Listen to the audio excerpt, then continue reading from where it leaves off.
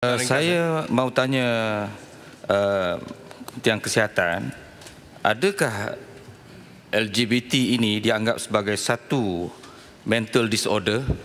Dan saya mau tanya, benarkah uh, beberapa hari ini uh, heboh berkait dengan satu komen yang telah dikeluarkan oleh seorang doktor, Dr. Iliani berkait dengan uh, pandangan beliau bahawa uh, tentang gaya hidup yang tidak sihat berhubung dengan LGBT ini dan di heboh berkait bahawa beliau kemungkinan akan dikenakan tindakan tak tertib dikeranakan oleh apa ni uh, pandangan beliau itu. Terima kasih.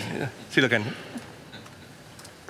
Sebenarnya ini soalan tak ada kaitan dengan soalan asal tu. Hmm. Tapi saya cuba nak jawab sikit tu.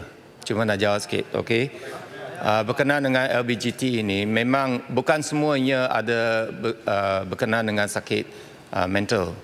Ada sebahagian besar daripada LBGT adalah penyakit organik, penyakit uh, dari segi hormon ataupun uh, penyakit uh, dalam otak di mana memang dari kajian MRI ke sebagainya boleh menunjukkan bahawa ada penyakit fizikal dalam eh, bukan penyakit ada sesuatu dalam fizikal dalam otak yang menyebabkan mereka bertindak laku sedemikian.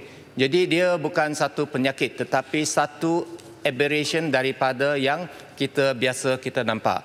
Jadi jangan kita anggap uh, eh, LBGT ini seorang sebagai orang yang sakit ataupun orang yang mengalami penyakit mental. Ini satu uh, tanggapan yang tidak betul. Sekian. Terima kasih yang berhormat. Uh, belum jawab soalan tadi. Uh,